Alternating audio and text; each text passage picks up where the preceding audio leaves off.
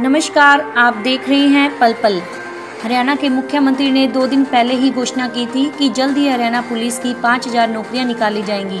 और आज Haryana staff selection board ने 5000 पुरुषों व 1000 महिलाओं की नौकरियाँ निकाली हैं।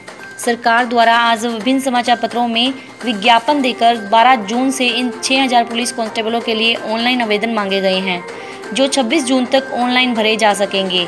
28 जून तक संबंधित कैंडिडेट फ़ीस भर सकेंगे। और इसके अतिरिक्त हरियाणा सरकार ने 400 सब इंस्पेक्टरों के लिए भी आवेदन मांगे हैं।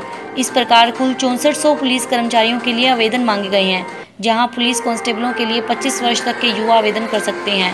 हमने आने के बाद बारह हज़ार पुलिस के कांस्टेबल ये भर्ती किए हैं, सब इंस्पेक्टर भर्ती किए हैं, और अभी बहुत जल्दी एक पाँच हज़ार पुलिस की भर्ती इन्हीं तीन महीनों के अंदर फिर निकलने वाली है।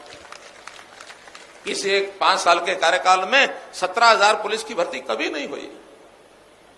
लेकिन पुलिस की भर्ती करने के बाद उनको फैसिलिटेट करना, उनको ट्रेनिंग देना, उनको आधुनिक उपकरण उपलब्ध कराना, आज जमाना साइबर अपराध का भी आ गया है।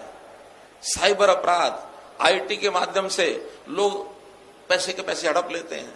कई तरह के हेरा फेरियाँ टेलीफोन के माध्यम से कर जाते हैं, इंटरनेट के माध्यम से कर जाते हैं। युग बदल गया है। तो इस सुरक्षा के लिए भी एक भरपूर हमने योजना अपनी बनाई है।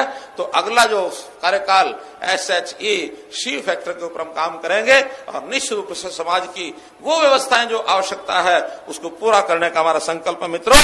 इसलिए ये सब काम करने के लिए हम लोग अपनी कमर कसें और अपनी कमर कस करके